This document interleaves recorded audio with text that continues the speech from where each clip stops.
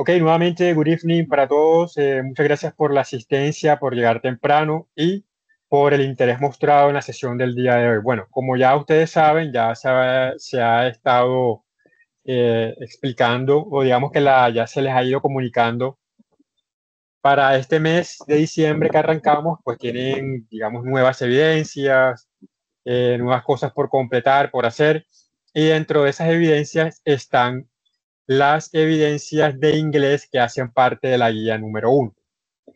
Para avanzar rápidamente, lo más importante en este momento para esta semana es lo siguiente.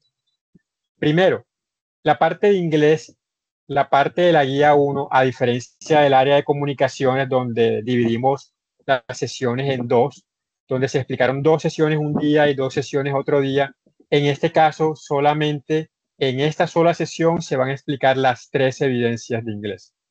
Primer punto a tener en cuenta. Tienen que completar las tres, aprobar las tres para aprobar el resultado de aprendizaje.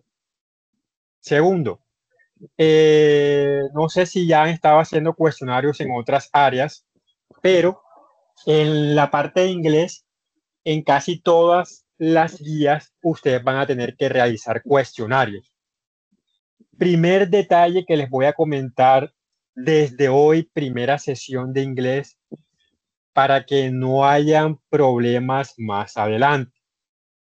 Porque usualmente se presentan problemas con estas evidencias. Ustedes de pronto ya saben o se han enterado que cuando hay evidencias para entregar, como por ejemplo en comunicaciones, los que me entregaron la infografía, los que me entregaron el informe, esas son evidencias que se pueden configurar de forma que cuando se acaba la, semana de, del cronograma de enviarla, esas evidencias se pueden colocar con una configuración llamada entrega tardía. Entrega tardía quiere decir que uno puede alargar, por decirlo de esta forma, la vida de esa evidencia y se puede entregar posteriormente lo cual no sucede ni con los cuestionarios ni con los foros de ningún área. Si usted no hace los cuestionarios, si usted no hace los foros durante el tiempo, tiempo programado del cronograma o durante el tiempo que están programados en la plataforma, ya usted no lo va a poder hacer después porque no se pueden estar reabriendo, no se pueden estar eh, volviendo a colocar nuevas fechas entonces, ¿por qué? Porque no tienen entregas tardías. Cuestionarios y foros, usted debe obligatoriamente realizarlos durante el tiempo que se da para ello. Para eso, para eso que acabo de decir, es para decir, para recordarles y más bien para anunciarles que el cuestionario de esta guía está disponible desde este momento hasta y únicamente hasta el día 6 de diciembre. O sea, tienen plazo hasta el día viernes para completarlo. Las otras dos evidencias, como ya les mencioné, también tienen un plazo, pero tienen la, la digamos que tienen la, la ventaja de que se pueden entregar después también de forma tardía. Pero con el cuestionario no va a funcionar de esa forma. Entonces, tanto ustedes que están ahora aquí como las personas que obligatoriamente tendrán que ver la sesión grabada. Les vuelvo y les anuncio que los cuestionarios no se reabren. Usted lo hace, tiene varias oportunidades, eso sí, si no lo aprueba enseguida puede repetirlo, pero después que se cierra esa fecha no se va a volver a abrir el cuestionario de esta guía número uno. Entonces, para que lo tengan muy en cuenta, para que a partir del día de hoy empiecen a estudiar y lo respondan lo más pronto posible. Y en eso se va a basar la sesión del día de hoy. Explicarles cómo completar los cuestionarios de inglés, porque aquí en adelante siempre va a haber un cuestionario en todas las guías, cómo es la metodología, cómo, cómo aparecen las preguntas, etcétera, etcétera. Hay mucha gente que ya desafortunadamente o afortunadamente, porque no puedo decir que sea malo o bueno, se han ido adelantando esto no tiene nada de malo, pero tampoco tiene nada de bueno, en el sentido que la idea es que, como ya lo mencioné con comunicaciones, cada uno de ustedes espere a que se socialicen las evidencias para evitar problemas o errores que puedan surgir. Algunas veces las envían antes de tiempo y quedan bien. Algunas veces, que es la mayoría, las envían antes de tiempo y quedan mal, con errores o con cosas que no se piden, porque a veces hay que eh, darles algunas pautas. Entonces, ya igual esa parte, con, ya, lo ya lo hablamos en la parte de comunicaciones. Entonces, lo que yo les decía era que ustedes pueden adelantar sus evidencias antes de socializarse, pero mi recomendación sería que no las envíen hasta que se socialicen y cuando ya se socializa, si lo que usted ya hizo, usted ve que corresponde a lo que se explicó, simplemente la envía ese mismo día. Si se quiere adelantar, pues vuelvo y le repito, eso no está prohibido, pero no es lo ideal. Entonces, vamos directamente ahora a la plataforma. ¿ok? Vamos a empezar a compartir pantalla y vamos a explicar las evidencias del día de, hoy para el área de inglés. Entonces, lo primero, lo de siempre. Cuando entramos a la plataforma Desayuna y estamos dentro de nuestro curso, lo primero que tenemos que hacer que es entrar a los anuncios. Ya eso lo dije la vez pasada, lo vuelvo y lo digo hoy. Si usted no entra a los anuncios a diario, probablemente no va a saber en qué va el curso. Entonces, uno de los problemas de no entrar a los anuncios es el problema que tenemos en este momento. De más de 40 personas, solo hay 6 aprendices, lo cual no es bueno, ya que pues espera que la asistencia a las sesiones en línea sea mayor. Entonces, no es bueno, ya que los que están presentes son los que realmente pues aprovechan más la, el momento sin embargo, pues ya ustedes saben que todo queda, grabado y posteriormente pues podrán ver eh, lo que se diga aquí. Y lo de los anuncios, sí, todos los días, porque todos los días se puede encontrar usted un anuncio nuevo. Sé que hay algunas personas que ni siquiera hasta hace unos días sabían de los anuncios, lo cual quiere decir que son personas que no estuvieron en la, en la bienvenida, y que no han estado asistiendo de pronto a las sesiones en línea. Cuando usted entra al botón de los anuncios, usted va a encontrar los anuncios del más reciente al más antiguo. ¿Qué quiere decir? Que si usted tiene 15 días que no entra a la plataforma, usted va a tener que bajar y buscar el anuncio, el último anuncio que usted leyó. Y cuando usted está interesado en un anuncio, no se olvide de darle clic al título para que el anuncio se despliegue por completo y así usted lo pueda leer todo. Listo, entonces eso era una de las recordatorios que yo siempre hago cuando inicio las sesiones en línea. A continuación, vamos a, a dirigirnos a la fase 1, que es la fase que ustedes están en el momento, ¿cierto? Estamos en la fase 1 de análisis y estamos en la actividad de proyecto 1 revisando la guía de aprendizaje número uno. La guía de aprendizaje 1 ya la hemos visto muchas veces, tanto en las otras áreas como en la de comunicaciones, pero en esta ocasión vamos a ir directamente a buscar las evidencias de inglés que se encuentran en la, en la última parte. Usualmente siempre son las últimas evidencias y empieza como tal en la página número 29 en la página número 29 de la guía de aprendizaje de la guía 1 es donde empieza lo que es todo lo de inglés. Yo les, les comento que ustedes aquí no van a aprender inglés como tal en cuanto a un curso donde ustedes van a ver gramática y toda esa parte porque no está diseñado de esa forma. Ustedes sí tienen que estudiar muchos materiales, muchos materiales, pero las evidencias, las, van a, las evidencias que se, que, se, que se van a hacer para estos programas técnicos y tecnólogos son evidencias que los llevan a momentos, a posibles momentos en su ambiente laboral. Entonces, para que una vez pues, eh, pues vayan como teniendo esa mentalidad que no es que vamos a aprender inglés como tal, de, de la que todo es gramática, no. Pero para la parte de los cuestionarios, sí tengo que explicarles algunos temas en específico. Entonces, esta parte de la introducción, pues ya ustedes se encargarán de leerla atentamente. Yo voy a ir directamente a la evidencia número uno, que es la evidencia cuestionario. Entonces, para la evidencia cuestionario, ustedes eh, van a tener que estudiar el material que se llama English Level 1. ¿Ok? Tanto para la evidencia cuestionario como la evidencia número 2, que es una video presentación, como para la evidencia número 3, que es un diseño de un folleto. Para todas estas evidencias, el material a estudiar es el mismo. Sin embargo, el material les va a servir más que todo para poder completar correctamente el cuestionario y algunos otros topics para de pronto pues utilizarlos en su presentación y algo del, folleto. Entonces, bueno, em, el título de esta parte de inglés se llama Identificar situaciones cotidianas y futuras a través de una interacción social, oral y escrita. Esta es la actividad de aprendizaje, el, título.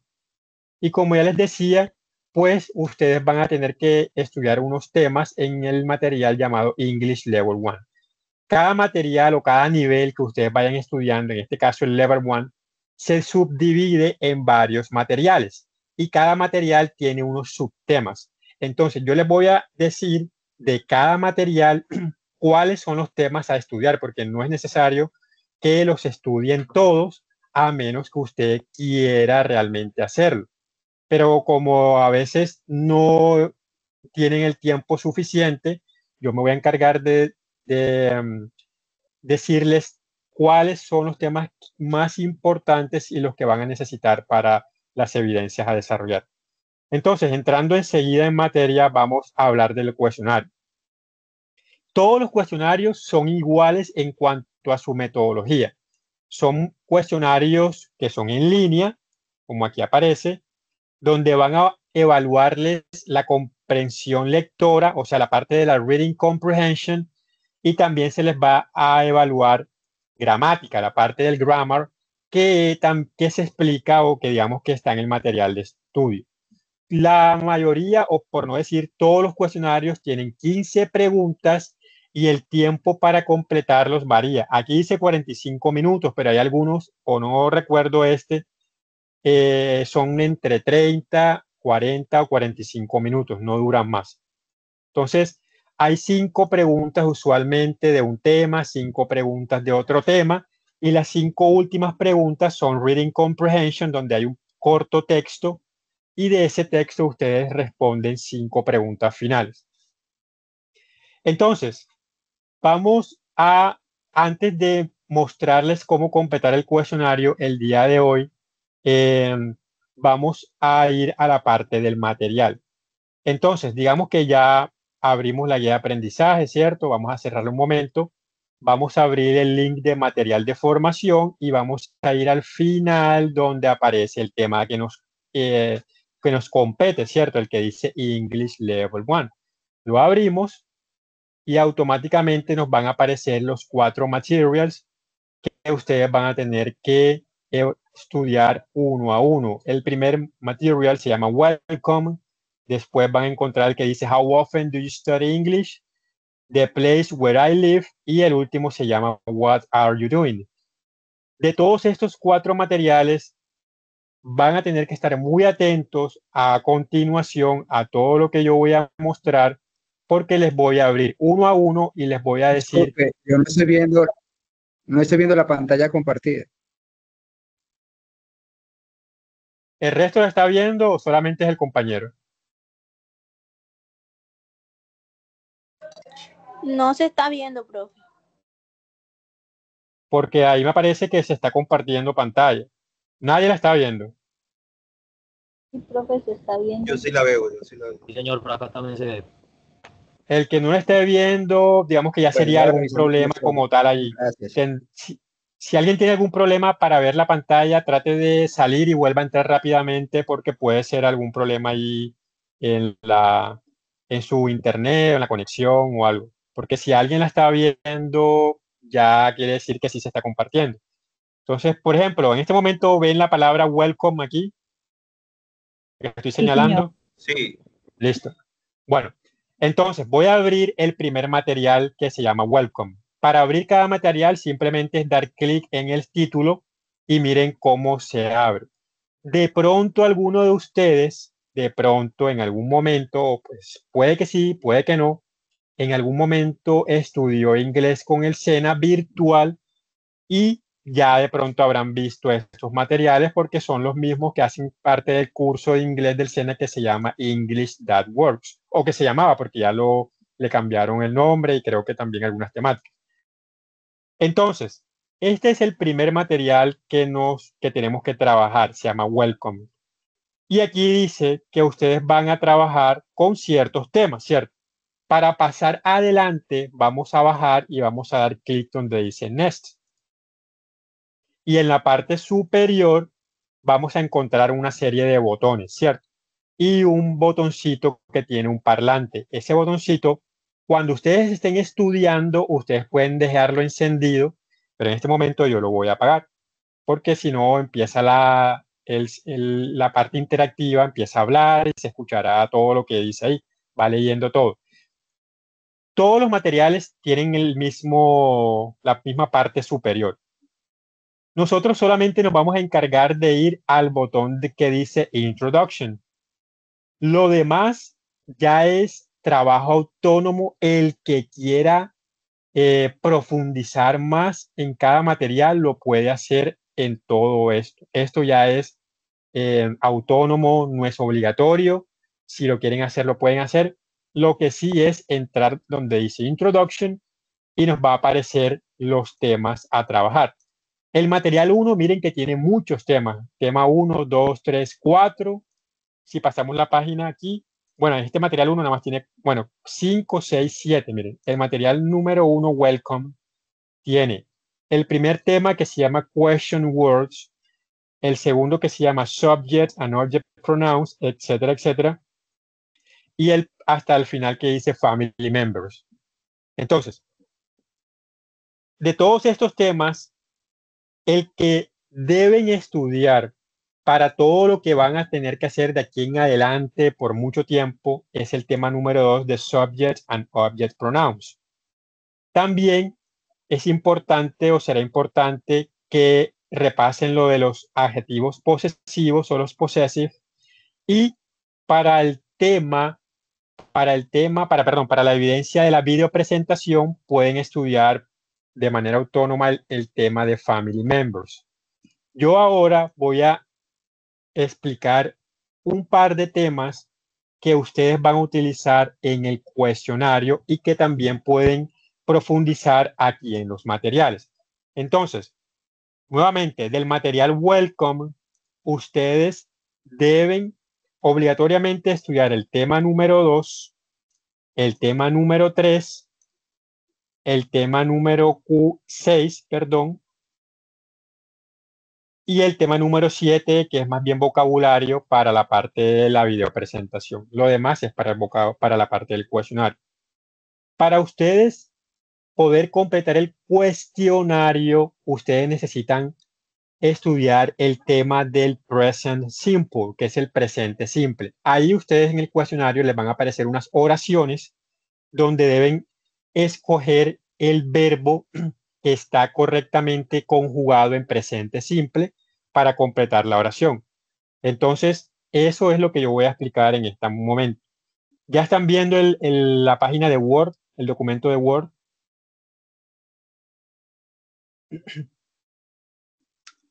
¿Me confirman para poder empezar aquí con el tema? Sí, señor. Bueno, en inglés, en español, en cada mayoría, en muchos de los idiomas, hay algo que es muy importante y que ustedes deben conocer. Para ustedes poder comunicarse, para ustedes poder entender algo, lo más básico es conocer el tema de los personal pronouns. Cuando hablamos de personal pronouns, son todos esos pronombres que utilizamos para poder comunicarnos, ¿cierto? Y para poder formar oraciones, para poder eh, eh, formar frases y para poder decir algo en particular. En español también tenemos pronombres personales y en inglés tenemos entonces los personal pronouns. Tanto en español como en inglés se dividen en dos partes, ¿cierto? Los personal pronouns del singular y los personal pronouns que utilizamos en el plural. Cuando yo me refiero a que hay, personal pronouns en singular y unos en plural, ¿qué quiere decir? Que cuando son en singular, pues nada más se referirían a una sola persona o una sola cosa. Cuando hablamos de plural, ya se, se, se, nos estamos refiriendo a más de una, ¿cierto? Entonces, la parte del singular en English empieza con el pronombre personal I, el pronombre personal you y el pronombre personal he, she y el pronombre personal it. Y en plural tenemos we, tenemos you y tenemos they. En singular, tenemos que en inglés, por ejemplo, este pronombre se llama primera persona.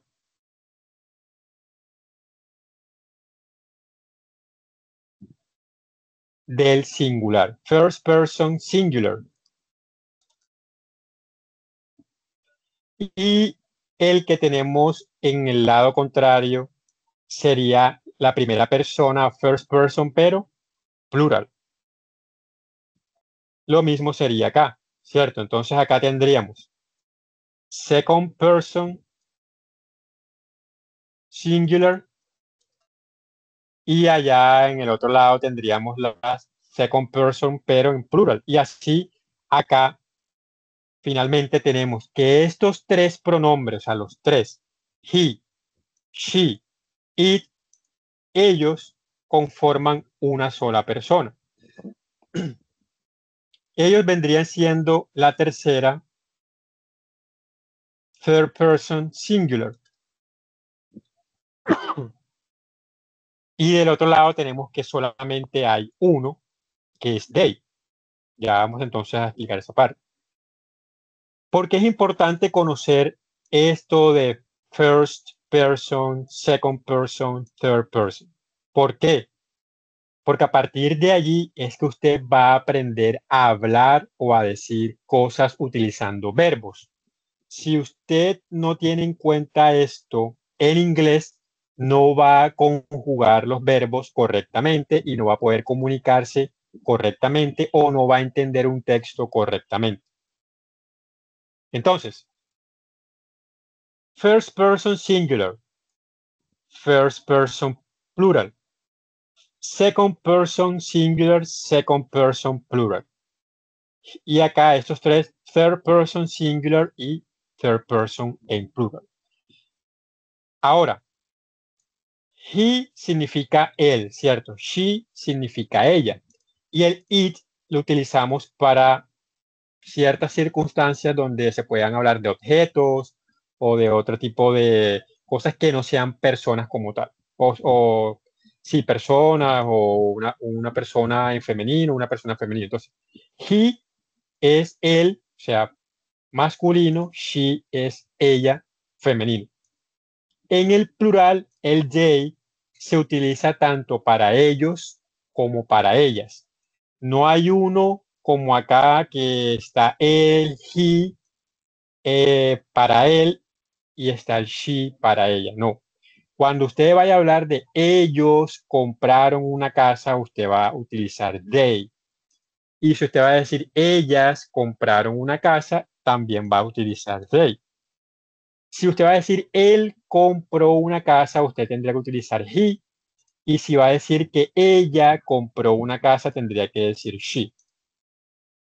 Si yo voy a decir que yo compré una casa, yo diría I, yo. Si tú vas a decir tú compraste una casa, utilizarías el you. Si ya tú vas a hablar de ustedes, utilizarían el mismo pronombre. En inglés, you significa tanto, se, utiliza tanto en el singular como en el plural la misma palabra, pero lógicamente dependiendo del contexto. Ustedes pues tendrán que identificar esa parte cuando están leyendo o cuando se están comunicando, pues eso es muy fácil ya de determinar. Y el plural de I sería nosotros, ¿cierto? El we. Yo me levanto a las 5 de la mañana, utilizaría I. Y si voy a decir nosotros nos levantamos a las 5 de la mañana, diría we. Entonces, esto es lo más básico de lo básico en inglés. Conocer los personal pronouns, identificarlos y tenerlos en la cabeza. No siempre van a encontrar oraciones donde digan nosotros vamos al colegio, ellos van al colegio, ella va al colegio. No, porque a veces en lugar del pronombre vamos a poder encontrar nombres de personas. Por ejemplo, dice, Andrés va al colegio. Sería como si utilizáramos el he. Pero si yo digo, Andrés y su hermano van al colegio, sería they, ¿cierto? Serían ellos. Si yo, yo digo, mi hermano y yo vamos al colegio, sería nosotros, ¿cierto? Mi hermano y yo. Si ya yo incluyo una persona y me incluyo a mí, ya sería nosotros. Si ya yo incluyo dos personas diferentes a mí, sería ellos, dos o más. Si nada más es un solo personaje masculino, sería he. Si es un solo personaje femenino, sería she. Y si estoy hablando de, de mí, utilizaría el I. Siempre en mayúscula. Ya teniendo claro esta parte, ¿cuál es lo siguiente? Lo siguiente es explicarles rápidamente en cómo se, cómo se identifica y cómo se conjuga en inglés el presente simple. Si nosotros queremos decir yo voy al colegio, yo tengo 20 años, yo me levanto a las 5, yo eh, hago tareas, yo esto y lo otro, en presente simple, así como en español también está, en inglés tenemos el simple present tense. Y así como en español, todos los tenses o todos los tiempos verbales tienen tres formas. Uno conjuga en una forma affirmative, en una forma negative y en una forma interrogative. En English lo único que va a cambiar, así como en español, es el tiempo verbal. El tiempo verbal es, por ejemplo, el presente simple, el, presente eh, continuo, el futuro simple, el futuro perfecto, etcétera, etcétera, el pasado, el pasado eh, continuo. Bueno, todos esos son tiempos verbales, ¿cierto? Presente, pasado, futuro, eh, presente perfecto, no sé qué, no sé qué. Esos son los tiempos verbales y dependiendo del tiempo verbal cambia la conjugación del verbo. Lo que no cambia son las formas. Cada tiempo verbal tiene las mismas formas. Yo puedo conjugar en futuro afirmativo, negativo, interrogativo, puedo conjugar en pasado, afirmativo, negativo, interrogativo. Entonces, para, para, este, para este cuestionario ustedes tienen que aprender a conjugar en presente simple el verbo be y cualquier otro verbo. El verbo be, que es el verbo ser o el verbo estar, tiene una particularidad, o sea, pero particularidad. Cómo se conjuga el verbo be en presente simple, eso solo aplica para ese verbo. Usted no puede conjugar ningún otro verbo de la forma en que se conjuga el verbo be. Cuando yo digo conjugar un verbo, es llevarlo al tiempo que yo deseo. Si yo digo, voy a conjugar el verbo be en presente simple, simplemente empiezo a desarrollar ese verbo en ese tiempo. Si yo digo, voy a conjugar el verbo be en pasado, entonces llevo ese verbo a pasado. Conjugar un verbo simplemente es llevarlo al tiempo que yo quiero expresar. Por ejemplo, si yo quiero decir, eh, nosotros estamos en un concierto, nosotros estamos. El verbo be, que en español es cero estar, o sea, el verbo be en español significa dos cosas. Lo puedo utilizar para expresar oraciones con el verbo ser, pero también con el verbo estar. yo puedo utilizar el mismo verbo para decir que yo estoy en mi casa, pero también puedo decir yo soy este yo soy ingeniero, yo soy arquitecto, yo soy profesor, yo soy estudiante, etcétera, etcétera. El mismo verbo. En español, pues claramente yo tengo un verbo para cada cosa, pero en inglés yo lo utilizo para el, para ambos, para ambos, para ambas acciones, pues ya dependiendo del contexto.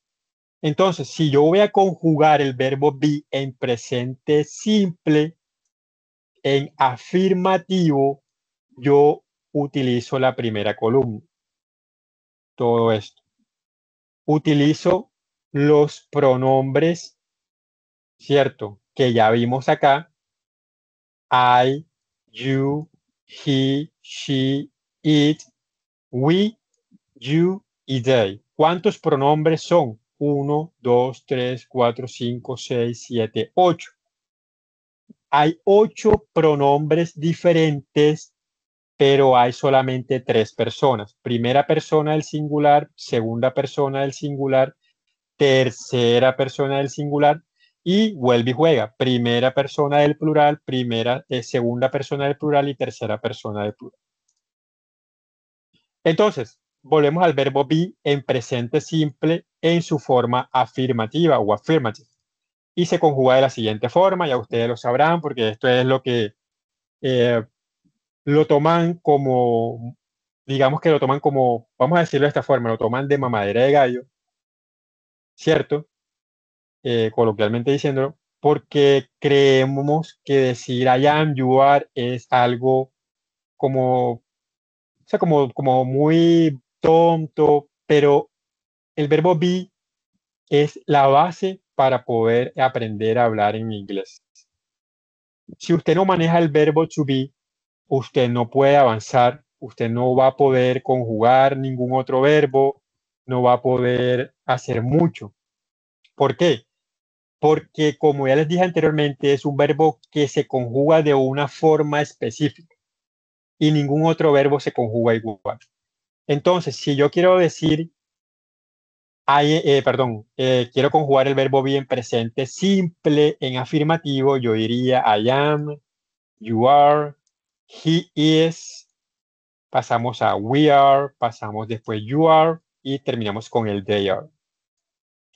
Aquí coloco al final que se conjuga de igual forma con she y con it. Es igual, aquí yo puedo colocar he is she is o it is. Esto es afirmativo o affirmative. Si ya yo quiero pasar a negative, simplemente le coloco un not al después del verbo. Yo diría I am not, you are not, he is not, etcétera, etcétera, etcétera.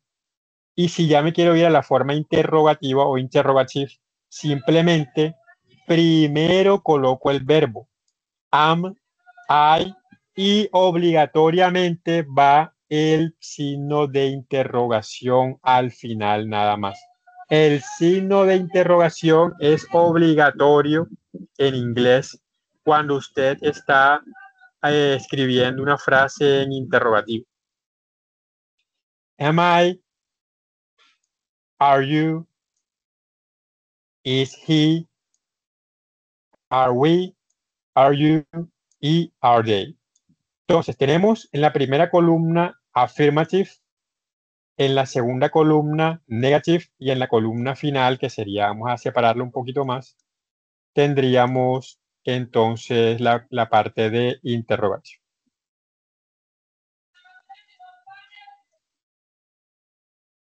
Vamos a separarlo un poco para que se vea más que es la tercera columna.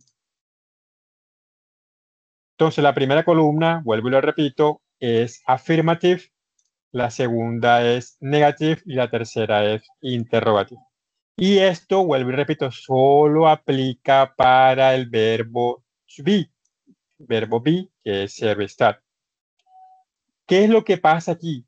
Que simplemente a la negación le coloco un not después del verbo y la interrogación simplemente, por decirlo de esta forma, volteó la arepa, ¿cierto? Coloco primero el verbo y después el pronombre y después el signo de interrogación. Esto no tiene ninguna ciencia, nada. Esto, esto se aprende de memoria. Esto no es algo que uno tiene, no. Usted se aprende esto de memoria hoy y para siempre. Si yo quiero decir yo soy, yo digo I am. Si yo quiero decir yo estoy, también digo I am, porque el verbo be es ser y estar, ¿cierto? Si yo digo él no es, he is not. Y si quiero decir él no está, también digo he is not. Si yo quiero hacer una pregunta y quiero decir son ellos, yo puedo decir are they. Y si quiero decir están ellos, are they. Igual. O si quiero decir son ellas, are they. Recuerden que el they aplica para masculino y para femenino. No hay distinción como con he y con she. Así como usted conjuga he is o he is not o is he, la misma forma lo utiliza con she, la misma forma lo utiliza con it. Esto es el presente simple del verbo be. Y así usted aquí en 10 minutos tiene aprendido el verbo ser estar en presente simple. Ojo que solamente estamos hablando del presente simple. Para afirmativo, para negativo y para interrogativo. ¿Qué debe usted aprender? Que con I el verbo es am y que con he, con she y con it es is. De ahí para adelante todas las otras son are. You are, we are, they are. ¿Cuál es la particularidad que ustedes pueden ver aquí? Que el verbo be desaparece, ¿cierto? O sea, en ninguna parte está el verbo en su forma original. En la forma original del verbo se llama, este, um, eh, bueno, se me escapa ahora la palabra, pero cuando ustedes ven que un verbo que está en su forma original, cuando se conjuga desaparece por completo, es porque es un verbo bastante irregular. Ya van a darse cuenta por qué. ¿Ok? Entonces, si yo digo que yo voy a conjugar el verbo be, lo normal en inglés, ojo, lo normal en inglés sería que yo dijera I be, you be, he bees con la S al final, pero eso no sucede con el verbo to be. Por eso es que el verbo be es tan importante, tan especial, porque además también se utiliza esto que está aquí en esta hoja, se utiliza para hacer otros verbos. Por ejemplo, cuando yo voy a hablar en presente continuo, por ejemplo, si yo voy a decir yo estoy corriendo, ¿cierto? El verbo es correr, pero necesito tener el estoy antes para conjugar correctamente ese presente continuo. Entonces, si yo voy a decir yo estoy corriendo, yo primero tengo que decir I am y después el verbo correr, ¿cierto? Corriendo, I am running, etcétera, etcétera. Entonces, por eso es tan importante, porque además, ustedes en el transcurso de este programa y, los que ya saben inglés y han estudiado se dan, saben que el is, el are se utiliza para otras cosas que también utilizamos todo el tiempo. Entonces, ojo con esto porque puede que en el cuestionario les salga alguna pregunta de completar con verbo to be en presente simple. Ahora vamos a los demás verbos en inglés. Yo escogí solamente uno, escogí el verbo do y ya se van a dar cuenta por qué. El verbo do en inglés para el español traduce a ser, entre otras cosas, como verbo. Ojo, el do como verbo traduce a ser. Pero el do, la palabrita do, tiene algo en particular.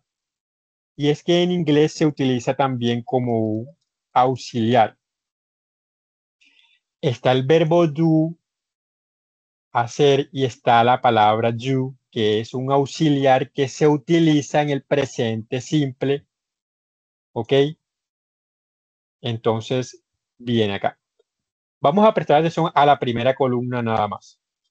El verbo do, que es hacer, si yo quiero decir yo hago, tú haces, ella hace, nosotros hacemos, yo lo conjugo así. I do, you do, she does, we do, you do, they do. Fácil, ¿cierto? Porque el verbo, miren, aquí, no, aquí es lo contrario al verbo be. El verbo be desaparece, no está en ninguna parte. En cambio, con el you y la mayoría de otros verbos en inglés, cuando lo conjugo, los conjugo en presente simple, sí utilizo el mismo verbo. I do, you do. Miren que la única cosa que cambia es el she does, que también puede ser he, que también puede ser it. Volvemos acá al comienzo, a la parte de los personal pronouns.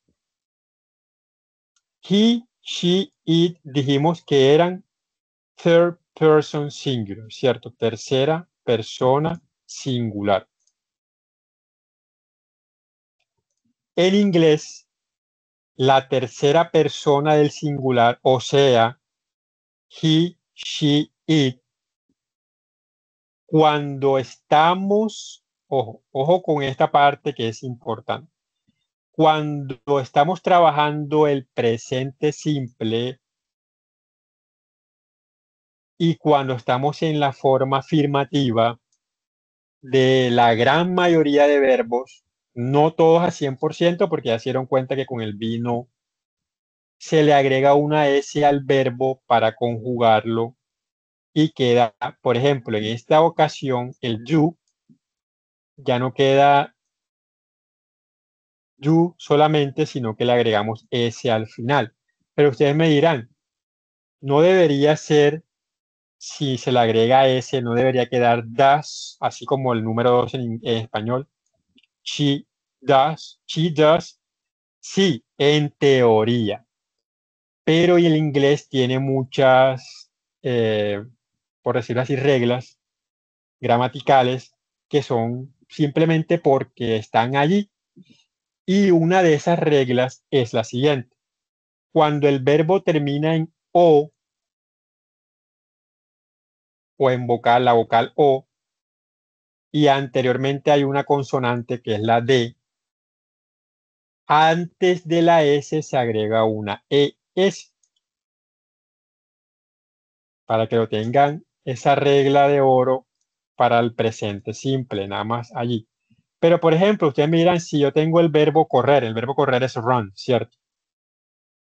Aquí no aplica como tal la regla de la O. En, el en la tercera persona sería he runs o she runs. Simplemente allí sí, nada más va la S sola, sin necesidad de colocar ninguna O. Allí sí. Pero volvamos acá. Ya sabemos que simplemente en inglés es así, pero el resto de personas es igual. You, you, you, you, you. El verbo do no se pronuncia do, sino se pronuncia do. I do, you do, we do, etcétera, etcétera. She does o he does. Esto se pronuncia does.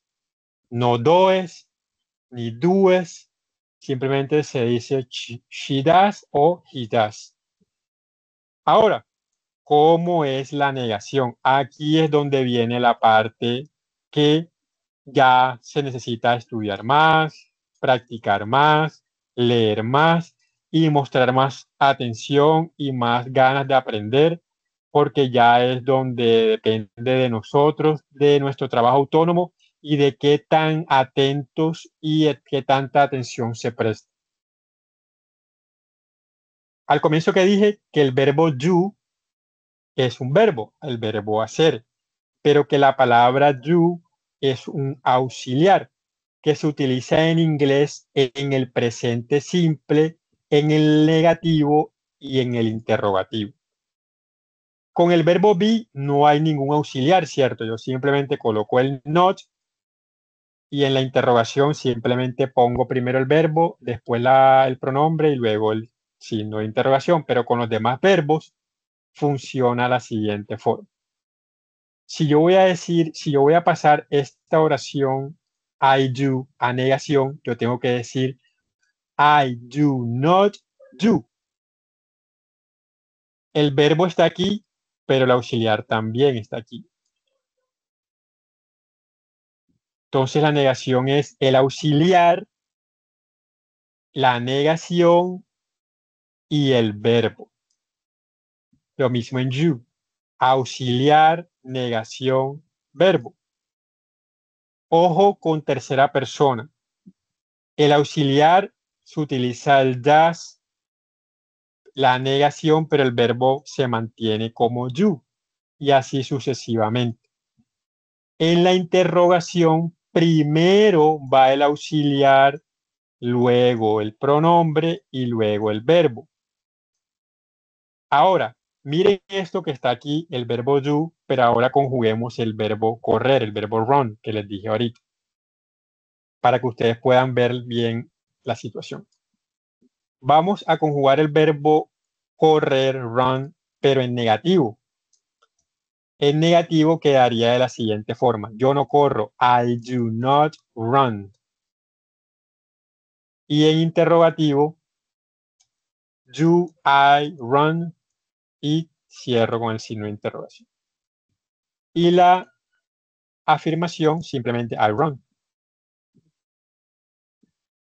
Si voy a tercera persona, ¿cómo quedaría?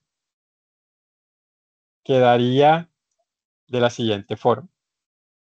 Si utilizo he, quedaría he runs, ¿cierto? Porque ya dijimos que en la tercera persona en afirmativo se agrega una S. Pero en la negación quedaría así. He, auxiliar, does, negación, not, verbo, queda run. Y en la interrogación, primero el auxiliar does, luego el pronombre he y luego el verbo run terminado con el signo de interrogación. Entonces, conclusión, en el presente simple nosotros utilizamos el you y el das como auxiliares. El you para todas las personas, yo, tú, ustedes, ellos, ellas, nosotros, pero con él, con ella y con it utilizamos el auxiliares como das y el verbo se mantiene igualito, no cambia. Ya explicado esto, ustedes en el cuestionario van a encontrar lo siguiente. Vamos a dirigirnos, vamos a dejar un momento ahí esta explicación. Vamos a ir al cuestionario. Vamos a entrar nuevamente porque se me salió.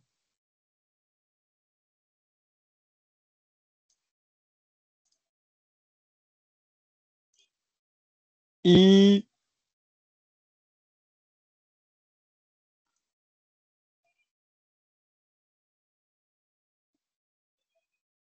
ya pasamos del material 1, ¿cierto? Vamos a volver como tal acá a la parte de la plataforma, vamos a ir nuevamente a, a la parte de... Vamos a cerrar lo que es material de formación un momento vamos a, abrir la guía de aprendizaje y vamos a ir al final, donde están las evidencias de inglés. Miren, la parte de inglés yo le coloqué al comienzo English para que las identifiquen enseguida. Usted lo abre y le aparecen las tres evidencias. La primera, cuestionario, la segunda, video presentación y la tercera, folleto. Para el cuestionario, usted va a dar clic al título y va a dar clic donde dice continuar la previsualización. Bueno, a usted le aparece otra cosa. Pero entonces, por ejemplo, ¿cuántos intentos tiene usted? Cinco. ¿Cuántos minutos dura la, prueba, el cuestionario? 45. ¿Cuánto tiene que sacar para que le quede aprobado? Mínimo 70.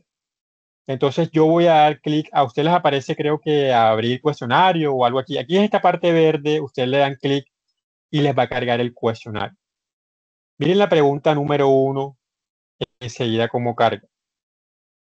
De la pregunta 1, creo que hasta la pregunta 10, si no estoy mal, les aparece una oración que está incompleta.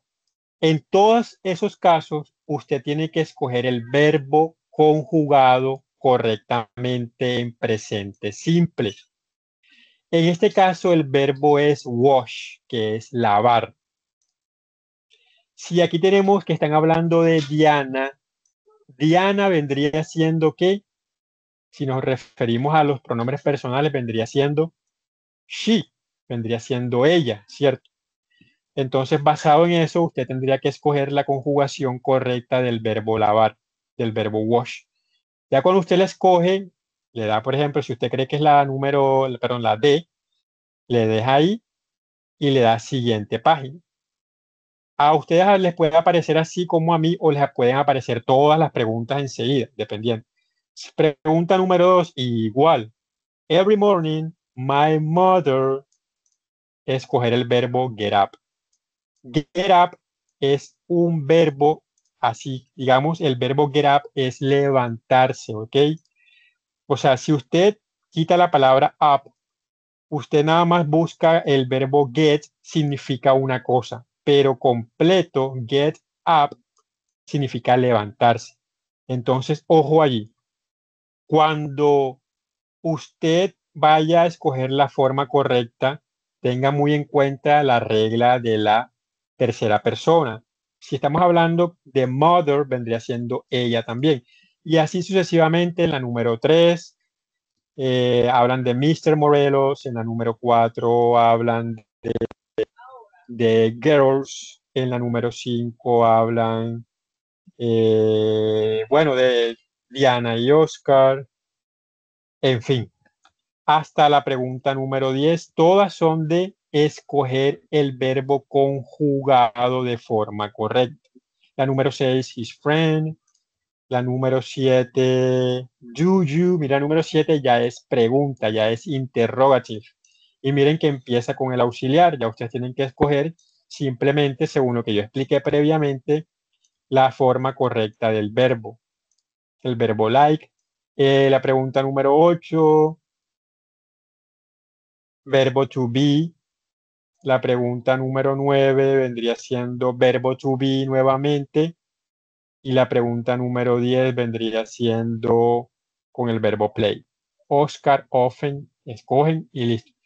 De la 11 a la 15 ya es reading comprehension. Comprensión de lectura. Ustedes tienen un texto corto de tres párrafos cortos. Usted lo tiene que leer, lo tiene que entender y a partir de este texto, las siguientes cinco preguntas son sobre ese texto. Entonces les van a preguntar preguntas de falso o verdadero. Ya ustedes, si entendieron el texto y esto, podrán responder rápidamente. La número 12, la número 13, la número 14, la número 15 son de falso y verdadero. Cuando ustedes terminan el cuestionario, a ustedes les aparece la, la, la, parte donde dice terminar intento.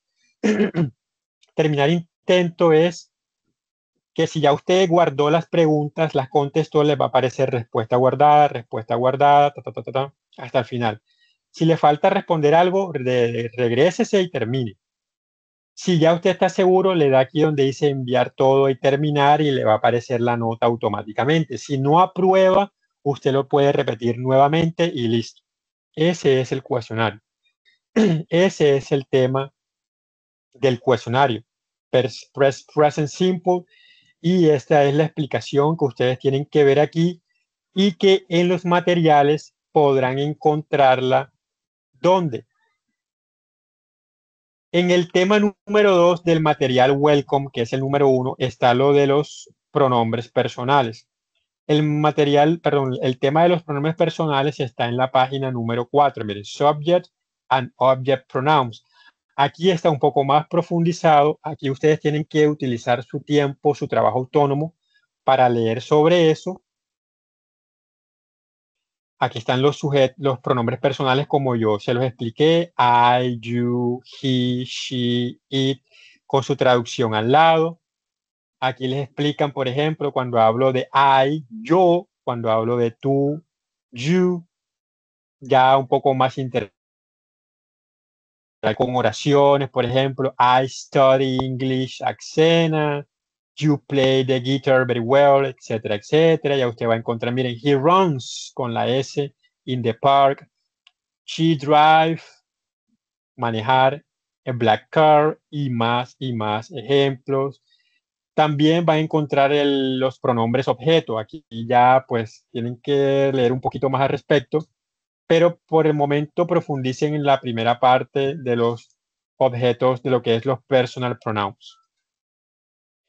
Luego, cuando ustedes terminen la parte del tema número 2, pueden dirigirse y, como les decía, estudiar el tema número 6.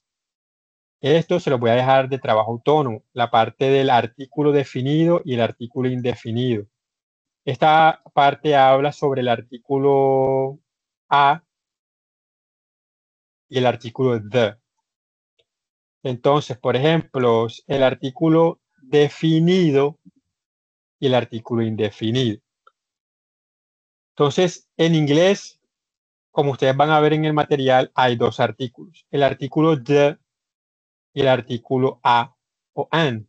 Es, por ejemplo, tenemos aquí, yo tengo un libro. I have a book.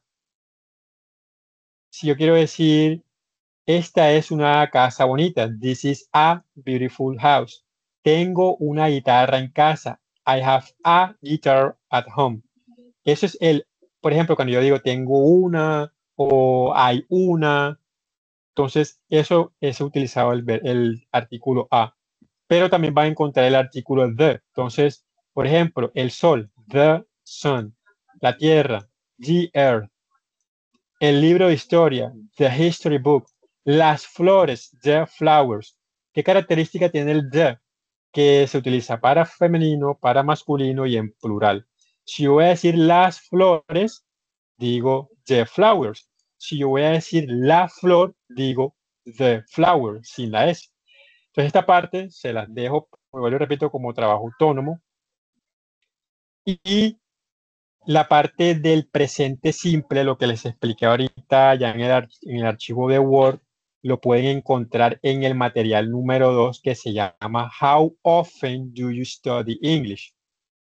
Le damos clic cuando nos abre el material en Next en la parte superior y miren que igualito que el material ahorita, la introduction y el tema número uno, muchachos, dice daily routines.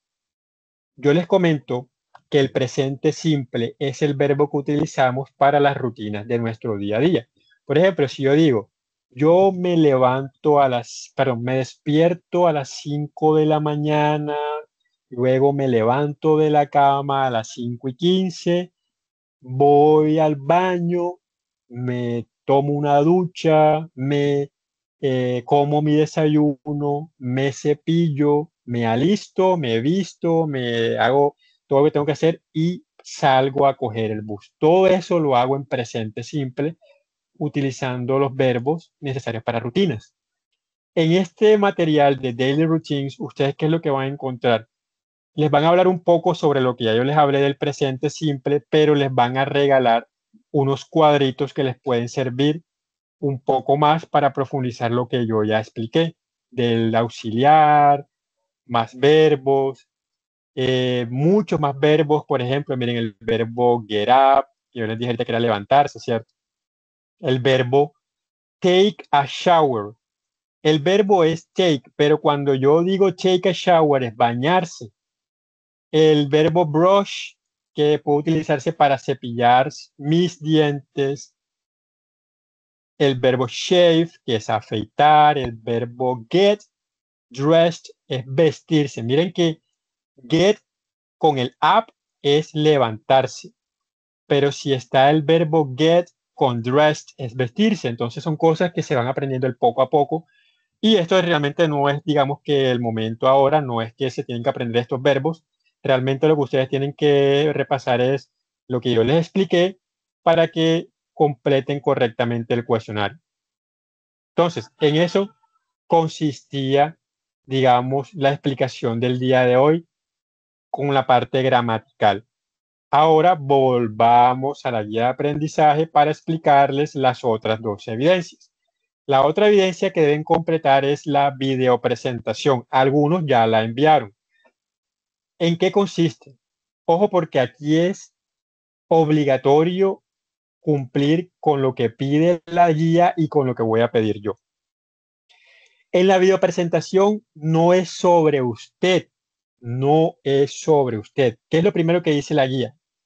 Escoja un miembro de la familia o un amigo. Ya.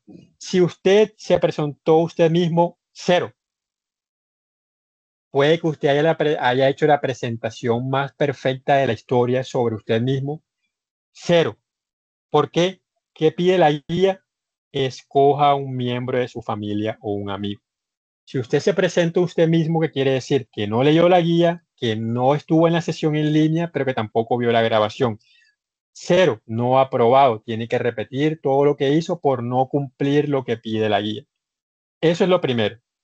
Usted va a escoger a su hijo, a su hermano, a su hermana, papá, mamá, esposo, esposa, el amigo, el vecino, porque eso es, eso es la presentación. Alguien que no es usted, vecino, amigo, familiar va a presentarlo en un corto video. Esto y que activando su videocámara, esto no, esto, esto lo trae la guía, pero esto no funciona así.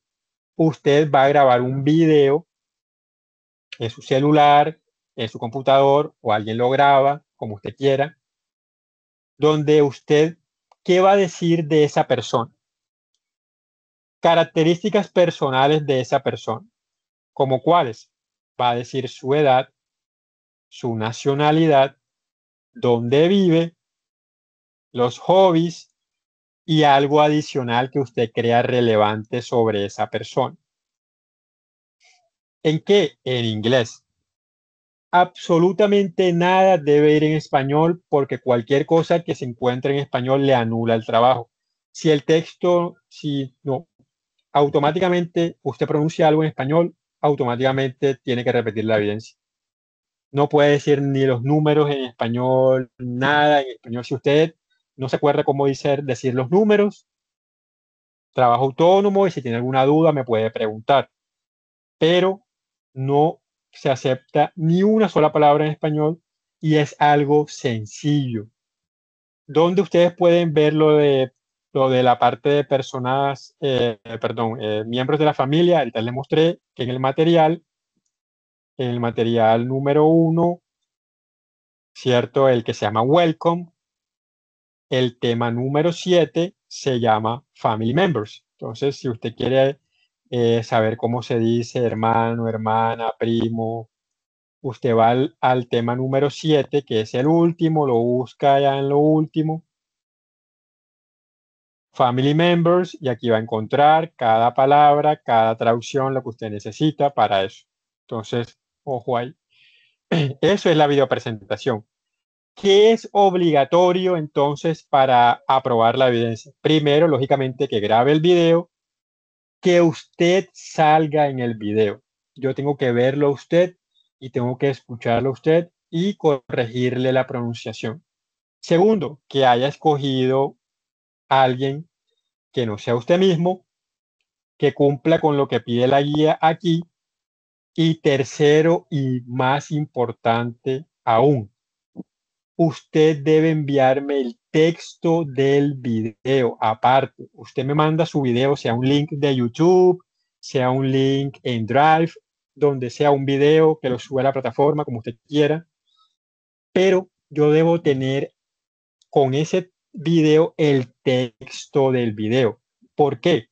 porque si usted pronuncia mal la palabra elaboración, yo tengo el texto, lo subrayo y le digo, Juan, en el siguiente texto que tú me enviaste voy a subrayar los errores que encontré en pronunciación para que los estudies mejores o en caso de que la pronunciación haya estado bastante mal, regular, tengas que repetir teniendo en cuenta la cantidad de errores. Entonces, por eso el texto debe ser en Word o en PDF para poder yo subrayar esos errores como tal.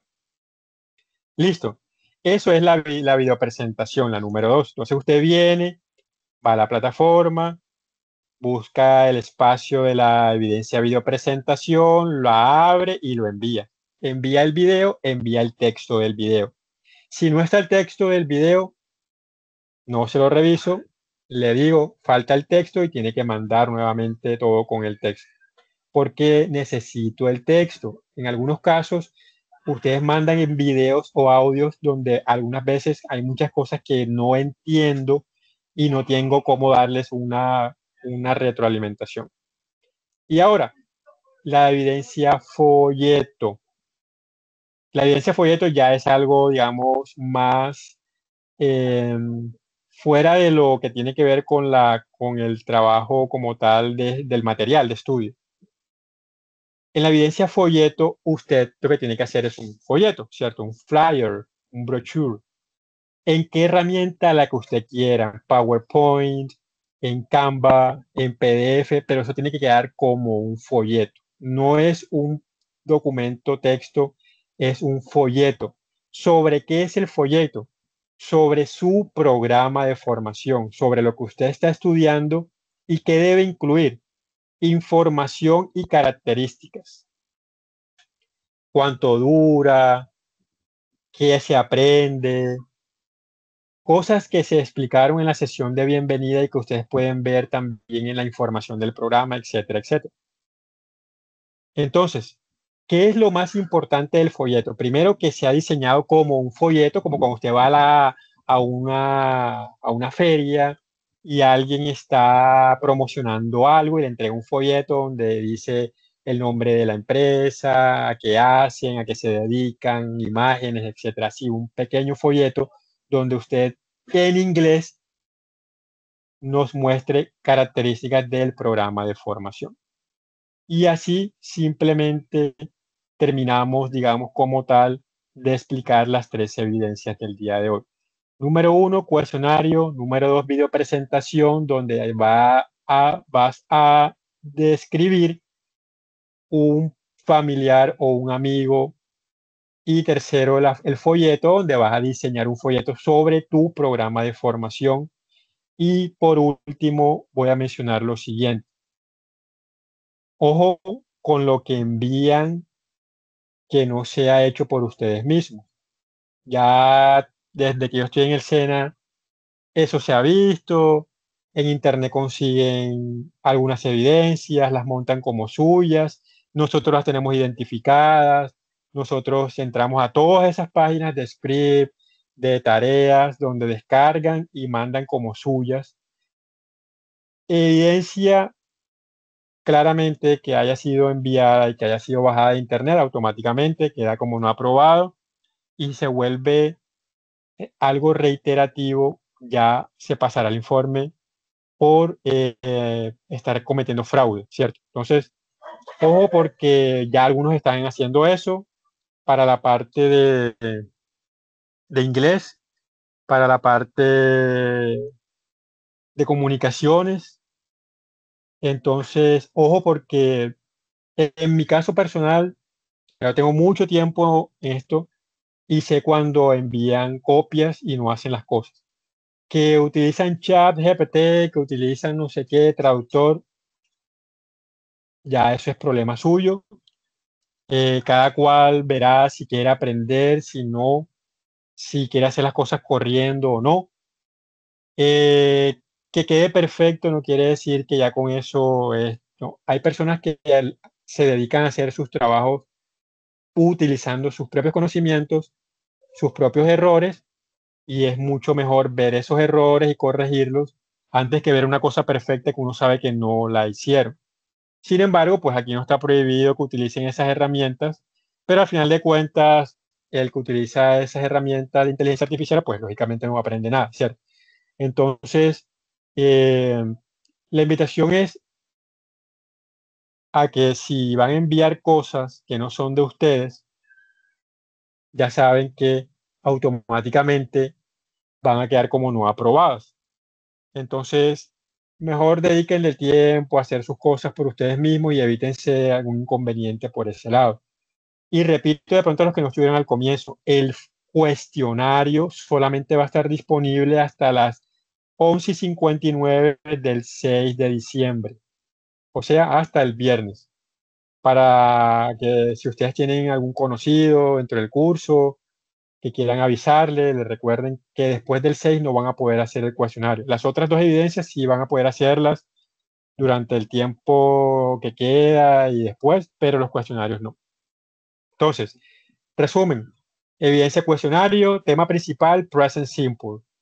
Video presentación, escoger un amigo, familiar y describirlo teniendo en cuenta lo que pide la guía en inglés. Y tercero, un folleto donde usted nos dé la información y características de su programa de formación. Extra, en el video no puede faltar el texto del video para yo subrayarle sus errores. Listo, entonces digamos que hasta aquí llegaría como tal la explicación de esta guía 1.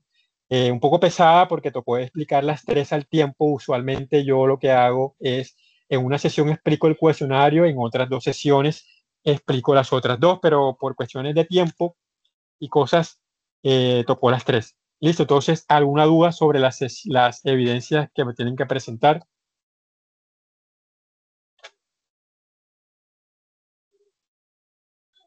Eh, profesor, una pregunta. Eh, el folleto es en inglés, obviamente, ¿cierto? Es que no le entendí bien ese pedazo. Bueno, como lo mencioné ahorita antes, absolutamente todas las evidencias de inglés, todo va en inglés. O sea, de aquí en adelante, todas.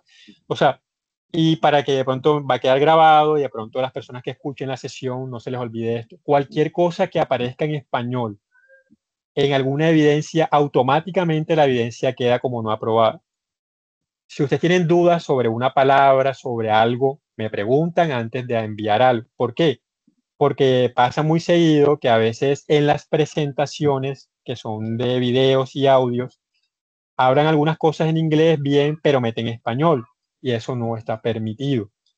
Y lo mismo los textos, absolutamente nada puede ir en español. Antes de enviar un texto, revisen bien que no se les haya escapado una palabra en español, sobre todo los que eh, pues no lo hacen por sí mismos, sino que utilizan traductores, que son los que más quedan en evidencia porque terminan enviando palabras en español y palabras en inglés. Porque el traductor no te va a decir que metiste una palabra en español mal escrita. Entonces, si usted no tiene buena ortografía en español, el traductor no le va a corregir la mala ortografía en español, sino que le va a devolver la misma palabra que usted le metió mal, se la devuelve a sí mismo. Entonces, antes de enviar algo, antes de grabar algo, ojo, nada en español, nada es absolutamente nada. Si usted tiene dudas, ya sabe, pregúnteme primero, si tiene dudas sobre cómo se escribe un número, cómo se dice un número, igual pueden utilizar, por ejemplo, yo utilizo, les comento mucho sobre el diccionario web que es el Word Reference. El wordreference.com es un diccionario web donde usted puede encontrar cualquier palabra, simplemente coloca aquí abajo el diccionario que necesita español-inglés.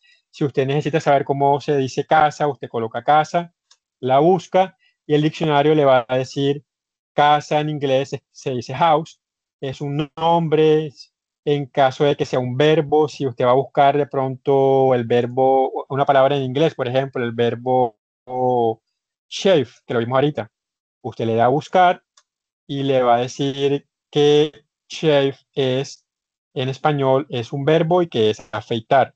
Y si usted quiere saber cómo se pronuncia la palabra, le puede dar clic en listen y ahí le va a decir una pronunciación si la quiere con acento americano o si la quiere con acento británico, le da, le da clic en, en listen y ahí le aparece. Ese es un diccionario que pueden utilizar para buscar palabras, para buscar pronunciación, para saber si la palabra es un verbo, si la palabra es un nombre, etcétera, etcétera, etcétera.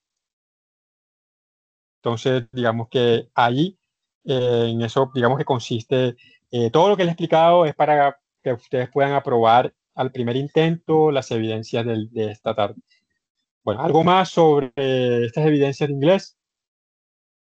¿Preguntas?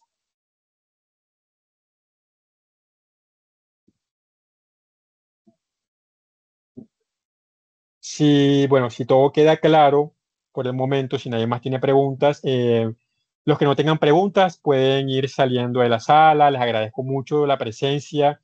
Eh, los siete que están, muy bien, gracias por asistir. Ojalá sigan asistiendo siempre a todas las sesiones. Eh, ya podemos ir dejando la sala. Y si no, y si alguien tiene una pregunta, último chance o nos vamos. Última chance, preguntas. dudas. Listo. Entonces creo que no hay más preguntas. Ojo, voy a dejar de compartir pantalla. Voy a parar la grabación. Bueno, creo que ya nadie más tiene preguntas. Si alguien no quiere preguntar algo ahora, me puede buscar después. Y ahí, pues, ah, bueno, una cosa antes que se vayan. Eh, recuerden que nosotros trabajamos de lunes a viernes. Ustedes nos pueden, nos pueden contactar sábados, domingos, festivos, sí, pero nosotros responderíamos cuando vuelva el día, el día hábil. Y si ustedes escriben en la noche, también se les va a responder al día siguiente. Entonces, eh, de lunes a viernes en el día, podemos estar respondiendo de pronto al tiempo, a veces sí, a veces no, pero fines de semana ya queda para el siguiente hábil y por las noches al día siguiente. Entonces, muchas gracias a todos, eh, una feliz noche y nos vemos, no sé si nos alcanzamos a ver a fin de año nuevamente con la guía 2, sin embargo estén pendientes a los anuncios. Listo, entonces muchas gracias y nos vemos en la próxima. Goodbye.